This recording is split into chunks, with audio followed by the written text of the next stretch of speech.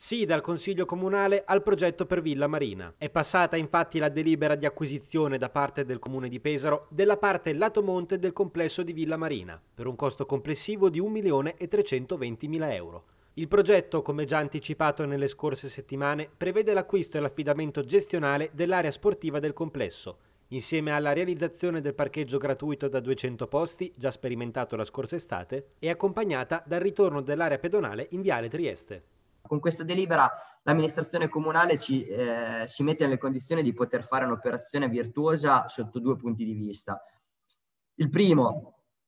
eh, quello di poter eh, ridestinare eh, quelle aree a, a, a, una funzionalità che, che è nell'interesse di, di, di, di tutta la comunità. Mi riferisco in particolar modo eh, all'area che verrà destinata eh, alla sosta, quindi un'area importante che potrebbe potenzialmente eh, dare la possibilità di sostare a più di 200 vetture. E questo ci consentirà anche di poter intraprendere delle scelte coraggiose che l'anno scorso abbiamo sperimentato, che possono essere sicuramente migliorate, eh, riviste, integrate, ma che ci consentiranno di poter rendere eh, il lungomare sempre più a misura d'uomo. Il, l'ufficio sport sta già lavorando alla costruzione di un bando per l'assegnazione di quella che è l'area sportiva, quindi l'area che include di fatto già una palestra degli impianti sportivi affinché questa possa tornare ad essere un luogo importante e centrale per, eh, da un punto di vista anche della vivacità, del dinamismo e, della, e dell'attività della città.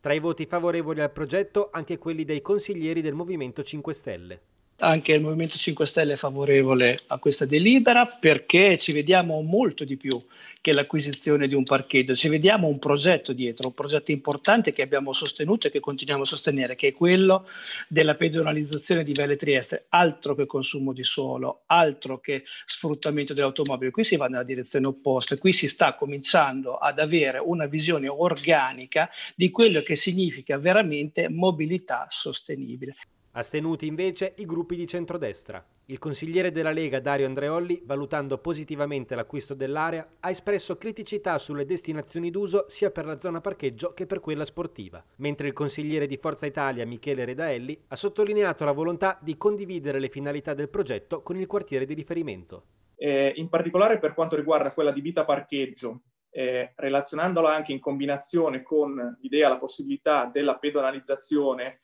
eh, di Viale Trieste. Eh, lo scorso anno ci sono state parecchie criticità evidenziate soprattutto dal Consiglio di quartiere eh, di riferimento. per questo motivo ci tengo eh, a, a, richiedere, a ribadire anche un passaggio eh, a, eh, in Consiglio di quartiere prima della definizione definitiva di questi, di questi utilizzi.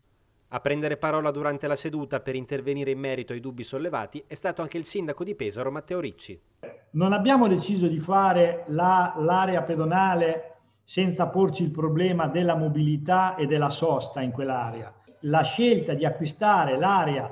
a monte di Viale Trieste, di Villa Marina, per farci un parcheggio definitivo è una scelta strategica perché non dice facciamo l'area pedonale, ce ne freghiamo di coloro che non trovano il posto per venire al mare. Visto che comunque acquistiamo e realizziamo un parcheggio, quindi spendiamo, ci siamo posti anche di recuperare, proprio perché abbiamo un bilancio virtuoso e, e, e deve rimanere tale, di recuperare la parte eh, di mutuo che andiamo a pagare ogni anno per l'acquisto, per la realizzazione del parcheggio, mettendo a bando, ed è quello che avverrà nei prossimi giorni, l'area sportiva.